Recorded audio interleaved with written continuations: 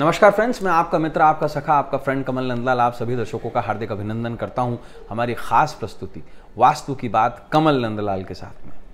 इस प्रोग्राम का उद्देश्य है आपके जीवन को सरल, सुखम और सफल बनाना एस्ट्रो तक पर। एस्ट्रो तक एक ऐसा प्लेटफॉर्म जो आपके जीवन में पॉजिटिव बदलाव लेके आता है। इसलिए यूट्यूब और फेसबुक पर एस्ट्रो तक को लाइक करें सब्सक्राइब करें और हमारे वीडियो शेयर करें। आज का विशेष टॉपिक वास्तु की बात कमल नंदलाल के साथ में सेक्सुअल वीकनेस आम, बहुत आम बात। उन पुरुषों के लिए भी, और आज मैं बताऊँगा महिलाओं के लिए भी। महिलाओं में किस प्रकार आती है सेक्सुअल वीकनेस बिल्कुल इस पर चर्चा करेंगे। वास्तु के दृष्टिकोण से मैं आपको इसके तथ्य भी बताऊँगा और इसके पीछे के सत्य भी बताऊँगा। और ये भी बताऊँगा कि वास्तु एस्ट्रोलॉजी मंगलम से आप कैसे अपने घर में छोटे छोटे चेंजेस करके आप इस प्रॉब्लम को दूर कर सकते हैं। हम जानेंगे इसके कारण और करेंगे इसके निवारण। आइए जानते हैं कैसे। काल पुरुष और वास्तु पुरुष ये दो ऐसे सिद्धांत हैं जो सही जगहों को सही जगह प्लेस करने की एक थ्योरी देते हैं। काल पुरुष सिद्धांत के अनुसार, कुंडली का सातवां भाव, कुंडली का आठवां भाव और कुंडली का बारहवां भाव फ़िज़िकल रिलेशनशिप का भाव कहे जाते हैं। सातवां भाव जीवन साथी का भाव बताया गया है। आठवां भाव जीवन साथी से सुख का भाव बताया गया है। और बारहवां भाव शयन और शैया का भाव कहा गया है। यानी कि बिस्तर का भाव कहा गया है बेड एंड इट्स को रिलेशनशिप जब इन तीन भावों के अंदर गड़बड़ी होती है, या तीन भाव के स्वामी अगर पीड़ित हो जाते हैं तो मेल या फीमेल में सेक्सुअल वीकनेस आने लगती है। अब हम एक शब्द का इस्तेमाल करते हैं सेक्सुअल वीकनेस उसका अर्थ क्या है? क्या सिर्फ़ मेल में ही होती है? बिल्कुल नहीं। किसी भी तरीके की किसी प्रकार से किसी व्यक्ति के प्रति आसक्ति या उसकी अनिच्छा आपको सेक्सुअल वीकनेस की तरफ़ बढ़ा देती है। ऐसा कब होता है और किन केसेस में होता है, ये भी हम डिस्कस करेंगे। लेकिन अगर एक स्त्री की भी, अगर फ़िज़िकल कांटेक्ट बनाने के प्रति अगर इच्छा ना हो तो उसे भी सेक्सुअल वीकनेस के फॉर्म में ही लिया जाता है। सेक्सुअल वीकनेस मेल के अंदर दो तरीके से आती है। इच्छा का ना होना और नॉन वर्किंग कंडीशन होना। इच्छा का ना होना मानसिक तौर पर ठीक किया जा सकता है। प्रोडक्शन का ना होना या यूटिलिटी का ना होना एक बायोलॉजिकल कारण हो सकता है। अब हम दोनों ही कारणों पर चर्चा करेंगे। ऐसा क्यों होता है? जब कभी भी सातवें भाव का स्वामी अगर हद से ज़्यादा पीड़ित हो जाए तो ऐसी स्थिति आती है कि व्यक्ति के मन में भोग का भाव खत्म होने लगता है। और ऐसा तब होता है जब सातवें भाव के अंदर केतु या गुरु जैसा कोई प्लैनेट आ जाए। तो व्यक्ति भोग के प्रति डिसइंटरेस्ट दिखाना शुरू कर देता है। जब कुंडली में आठवें भाव का नेचुरल लॉर्ड यानी कि मंगल, अगर किसी भी तरीके से राहु से पीड़ित हो जाए या कमज़ोर हो जाए या कर्क राशि में आ जाए किसी भी तरीके से अगर कुंडली के चौथे भाव में आ जाए तो ऐसी फीलिंग ज़रूर होती है कि व्यक्ति फिजिकली तौर पर केपेबल नहीं होता। फीमेल फिजिकली तौर पे केपेबल नहीं होती बिकॉज़ ऑफ़ पेनफुल क्वेश्चन यानी कि किसी भी तरीके के दर्द का एहसास होना और उससे अपने आप को जुदा कर देना जो है, ये मंगल के कारण होता है। अगर कुंडली के अंदर शुक्र या बृहस्पति पीड़ित हो जाएँ और बुद्ध से अगर गुरु पीड़ित हो जाए तो भी व्यक्ति के सामने डिसइंटरेस्ट की कंडीशन आ जाती है, पति या पत्नी से, दोनों के व्यवहार में। और सेक्सुअल वीकनेस ना ही सिर्फ़ फ़िज़िकल एलिमेंट है, ये मेंटल एलिमेंट ज़्यादा है, जिसका सबसे बड़ा प्रॉब्लम है मंगल का बुद्ध से पीड़ित हो जाना। क्योंकि आपस में बहुत ज़्यादा शत्रुता रखते हैं मंगल और बुद्ध।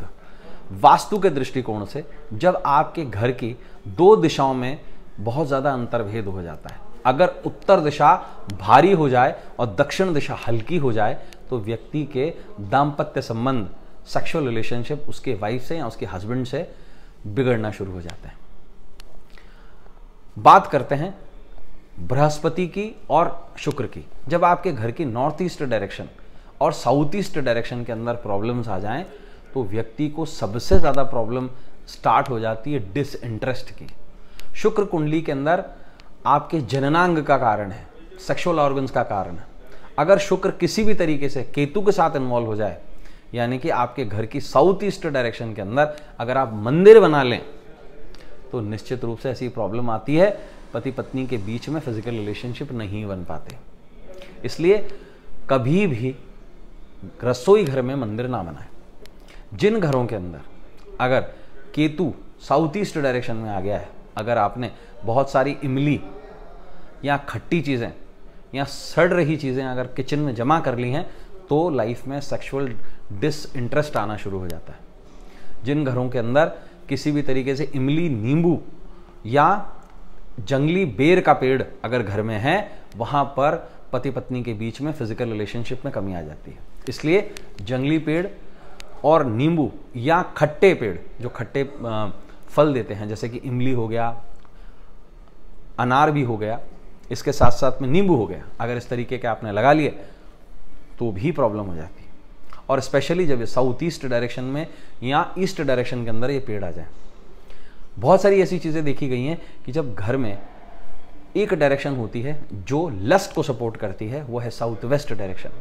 अगर किसी के घर के अंदर साउथ वेस्ट डायरेक्शन के अंदर मंदिर किसी ने बना लिया, या वहाँ पर पीला पेंट करा लिया टूवर्ड्स बृहस्पति का पीला पेंट, या वहाँ पर कोई स्पिरिचुअल पिक्चर्स लगा ली तो ऐसा बहुत बार देखा गया है कि व्यक्ति की सेक्सुअल वीकनेस शुरू हो जाती है और सबसे ज़्यादा मेल की वीकनेस शुरू हो जाती है। मेल वीकनेस के लिए आपको घर की साउथ डायरेक्शन को चेक करना होता है। अगर मेल में सेक्सुअल वीकनेस स्टार्ट हो गई है तो आप ये चेक कीजिएगा, कोई पानी का नल लीक तो नहीं कर रहा है साउथ डायरेक्शन के अंदर। कहीं कोई पानी का नल अगर आपके वॉशरूम में, टॉयलेट में अगर लीक कर रहा है घर की साउथ डायरेक्शन के अंदर तो मेल के अंदर 100 परसेंट सेक्शुअल वीकनेस आना शुरू हो जाएगी। बात करते हैं हम शुक्र की, जो सबसे ज़्यादा इंपॉर्टेंट प्लैनेट है इस पूरे चार्ट के अंदर। वो ये है कि अगर शुक्र किसी भी तरीके से पीड़ित है, घर की साउथ ईस्ट डायरेक्शन पीड़ित है, अगर वहाँ से बदबू आ रही है तो शुक्र 100 परसेंट पीड़ित होगा और शुक्र जो है वो वीर्य का स्वामी कहा गया है। और शुक्र का संबंध होता है शुक्राणुओं से। जो शब्द शुक्र बना है, वो बना है शुक्राणुओं से, यानी कि स्पर्म से। अगर व्यक्ति शुक्र वीक का व्यक्ति अगर अपने घर के अंदर बहुत ज़्यादा धार्मिक चित्र रख देता है तो व्यक्ति के सेक्सुअल संबंध बिगड़ना शुरू हो जाते हैं। उसका, अब हम उसका बताएँगे निवारण क्या है। आपके घर की साउथ ईस्ट डायरेक्शन के अंदर बहुत ज़्यादा काले या नीले पेंट का इस्तेमाल, या साउथ ईस्ट डायरेक्शन के अंदर आपके बहुत ज़्यादा डब्बों का इस्तेमाल, खाली डब्बे अगर पड़े हुए हों, या उस जगह बहुत ज़्यादा ईंधन पड़ा हुआ, बहुत ज़्यादा गैस के सिलेंडर्स पड़े हुए हों तो ऐसी प्रॉब्लम जनरेट होना शुरू हो जाती है। अगर आपके किचन की सिंक रेगुलरली लिंक कर रही है, और आपके घर का डस्टबिन अगर साउथ ईस्ट डायरेक्शन में पड़ा हुआ है किचन में, और वो स्टिंक कर रहा है तो भी ऐसी प्रॉब्लम आती है, क्योंकि वहाँ पर शुक्र राहु से पीड़ित हो जाता है। इसको ठीक कैसे किया जाए? शुक्र को एनर्जाइज किया जाए, आपके किचन के पेंट में गुलाबी पेंट कराया जाए, या चमकीला व्हाइट पेंट कराया जाए, या लाइट ब्लू पेंट कराया जाए, साथ बसात के अंदर आपके घर का जो साउथ ईस्ट कोना है, वहाँ पर खुशबूदार दीपक जलाया जाए रेगुलर बेसिस पर। और आप अपने घर को कैसे सुंदर और सौम्य बनाएँ, साथ के साथ के अंदर इस प्रॉब्लम को भी सॉल्व करें। एक वाटर का बाउल ले लें, कांच का बाउल और उसके अंदर आप पाँच फूल, खुशबूदार फूल हों या नॉन खुशबूदार भी हों, तैरते हुए फ्लोटिंग फ्लावर्स रखें। इसको रेगुलरली रोज़ पानी को और फूलों को बदलें तो आप देखेंगे कि आपका शुक्र एनर्जाइज हो गया और आपके फ़िज़िकल और सेक्सुअल रिलेशनशिप बहुत अच्छे हो गए हैं पति पत्नी के बीच में प्रेम बढ़ गया साउथ ईस्ट कोने के अंदर एक ऐसी चीज़ है जो आपको बहुत अच्छा रिज़ल्ट दे सकती है, वो है दीपक का जलाना। आपका जो बेडरूम है, उसके अंदर अगर आप चमेली के तेल का दीपक और चार मुखी दीपक अगर डेली जलाते हैं तो आपके अपने हस्बैंड और वाइफ से सेक्सुअल रिलेशनशिप बहुत अच्छे बढ़ जाते हैं। साथ बसात के अंदर इतना ज़रूर ध्यान रखना चाहिए कि साउथ ईस्ट डायरेक्शन के अंदर हमेशा खुशबूदार तेल का ही दीपक जलाना चाहिए। यहाँ पर घी का और अन्य दीपक नहीं जलाना चाहिए। और इन चीज़ों को और थोड़ा सा बेटर बनाने के लिए आप अपने कमरे के कलर को लाइट ब्लू कराएँ और डार्क ब्लू कलर के पर्दे लगाएँ। साथ ब साथ के अंदर एक काम और कर सकते हैं इसके अंदर।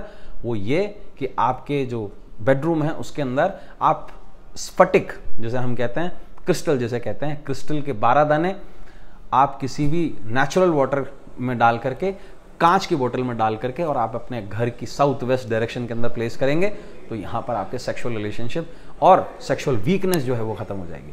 दर्शकों, ऐसे अन्य टॉपिक्स को और लेकर हम आपके लिए आते रहेंगे। आज के लिए बस इतना ही। वास्तु की बात कमल नंदलाल में। वास्तु की बात कमल नंदलाल के साथ में हम कल एक और टॉपिक को, वास्तु को लेकर आपसे मिलेंगे। तब तक के लिए मुझे आज्ञा दीजिए। नमस्कार।